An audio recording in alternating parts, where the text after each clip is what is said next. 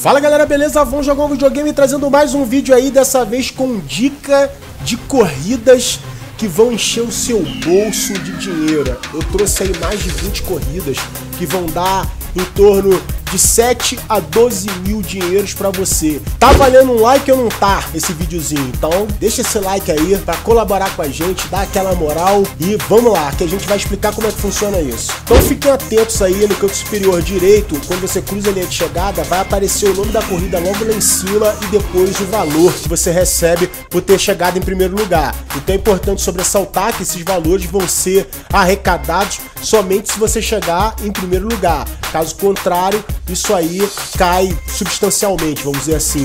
Então são mais de 20 corridas aí, variando de 7 a 12 mil. Com o nome dessas corridas, então basta que você as localize no mapa e realize com uma certa prioridade. É claro que algumas só vão estar disponíveis depois de algum progresso no jogo, mas aí é questão de você ficar atento e priorizar, realizar essas corridas em detrimento das que vão te oferecer um valor menor. Eu aconselho que você vá dando uma olhada aí nas corridas e vá anotando o nome e também identificando qual é o tipo da competição, né? Se é drift, se é time trial, se é sprint, enfim. Bom, galera, eu posso ter feito um julgamento equivocado, mas eu achei que de alguma forma pudesse ser útil pra galera que vai começar aí do zero e que tá afim, obviamente, de progredir no jogo com uma certa rapidez para ter acesso aos carros, né? Afinal de contas, o grande atrativo do Need for Speed é o fato de você poder ter os carros e também transformá-los em máquinas personalizadas, o que de alguma forma vai depender de que? Grana. Então,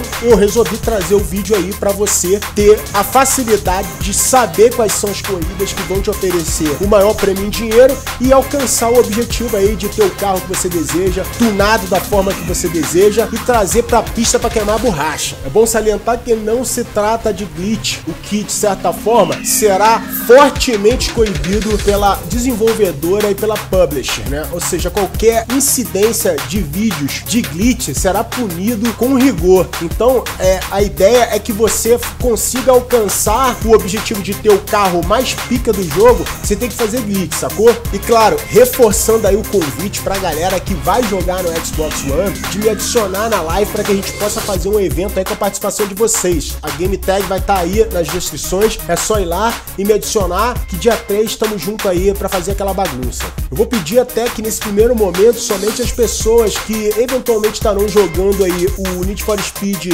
no Xbox One me adicione, ou seja, aqueles que tiverem o game. E peça ainda que me mande uma mensagem dizendo, ó, oh, fulano de tal, tô com o jogo aqui, tô à disposição para fazer o um evento, sacou? Bom, galera, eu espero que vocês tenham curtido o vídeo e que seja, antes de mais nada, um vídeo útil aí na jogatina de vocês.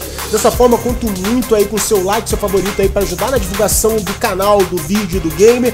Fiquem todos com Deus aí, um grande abraço e até o próximo vídeo.